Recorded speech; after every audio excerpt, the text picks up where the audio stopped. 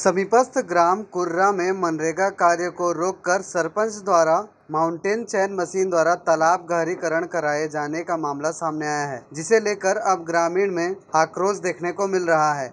ज्ञात हो कि ग्राम कुर्रा में मनरेगा काम के तहत शीतला दर्री तालाब में 10 लाख की बड़ी राशि स्वीकृत हुई है, जिसे सप्ताह भर काम लेने के बाद उक्त तालाब के लिए आवंटित राशि खत्म होने का हवाला देते हुए तालाब से मनरेगा काम रोककर गाँव के सरपंच गोवर्धन तारक द्वारा इसी तालाब में फिर से सौंदर्यीकरण के नाम पर माउंटेन चैन मशीन द्वारा मुरुम निकलवाने का काम करवाया जा रहा है, जिससे गाँव के लोगों में काफ़ी आक्रोश व्याप्त है।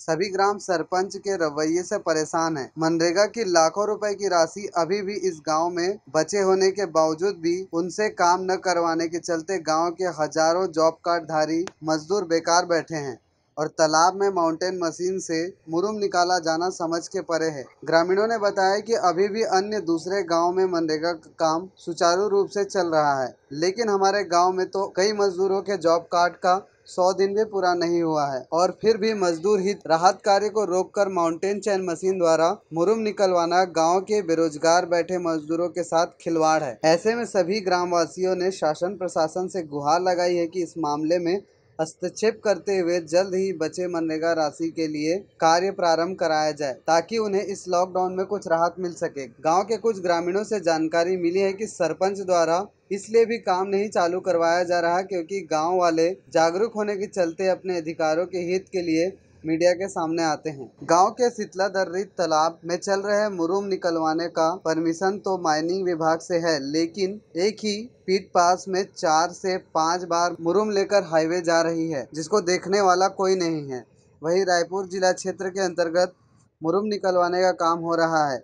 लेकिन ठेकेदार द्वारा धमतरी ज़िले व गरियाबंद ज़िले में भी मुरुम को भेजा जा रहा है, जबकि ग्राम पंचायत के प्रस्ताव रजिस्टर में इस प्रस्ताव को देने के लिए नहर नाली कार्य में मुरुम की ज़रूरत को बताया गया है। ऐसे में यह संदेह के दायरे में है कि कितना ट्रक मुरुम कब निकल रहा है, इसकी सही जानकारी भी सरपंच द्वारा नहीं रखी जा रही है, जिसके चलते सभी राजस्व का नुकसान कुर्रा पंचायत को हो रहा है। वही दैत्याकार हाईवा गाँव की तंग गलियों से होकर गुजर रहा है। जिससे धूल गुब्बारे खूब उड़ रहे हैं। वहीं भारी प्रदूषण से गाँव के ग्रामीण भी परेशान हैं।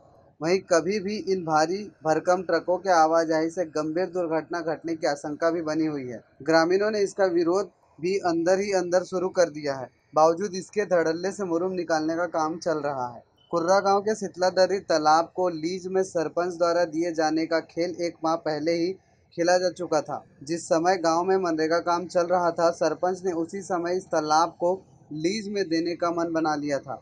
यही कारण है कि पिछले महीने के प्रथम सप्ताह में ही इस प्रस्ताव को पास कराकर इसे लीज में दिए जाने की बात हो गया था, जिस पर अभी चार दिन पूर्व कार्य आदेश जारी हुआ। वही प्रस्ताव में सभी पंचों का हस्ताक्षर भी नहीं है। ज्ञात हो कि गाँव के अधिकांश पंच महिला और इनकी शिक्षा भी उतनी ज़्यादा नहीं है, जिससे यह सरपंच द्वारा किए जा रहे काम की सही जानकारी रख सके। यही कारण है कि सरपंच द्वारा इन सभी पंचों को सही जानकारी नहीं दी जा रही है और हर काम अपनी मर्ज़ी से हो रहा है। अभनपुर मनरेगा अधिकारी दयानंद देवांगन ने गाँव में रुके मनरेगा के कार्यों को दो दिन के भीतर चालू कराने की बात कही है। वहीं गाँव में अस्थायी रूप से दुलना गाँव के रोज़गार सहायक को इस काम की ज़िम्मेदारी सौंपी है। खनिज अधिकारी एच के मरवाहा ने जाँच के निर्देश देने की बात कही है। गाँव के सरपंच गोवर्धन तारक ने कहा है कि तालाब के सौंदर्यकरण के लिए पंचों व ग्रामीणों की सहमति पर इस तालाब को लीज में दिया है। सरपंच ने मनरेगा काम में मजदूरों के ऊपर ठीक से काम न करने का आरोप भी लगाया। डीएनएक्स टीवी के लिए नवापारा राजीव से विश्वेश्वर हिरवानी की रिपोर्ट।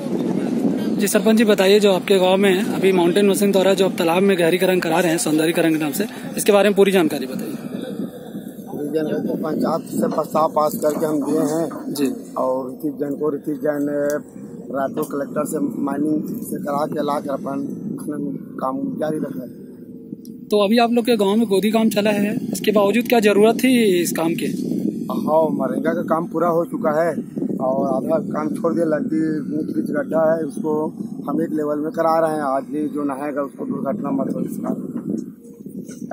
माउंटेन मशीन से भी जो हो रहा है कितने दिन तक काम चलेगा जी ये जितना पीठ पास है कटेगा उतना दिन तक अब काम चलेगा। इसमें सभी पंचायतों क्या प्रस्ताव पास है मतलब आप और सभी सर्वसम्मति से प्रस्ताव पास की, गई है तालाब को सौंदर्यकरण बनाने के लिए।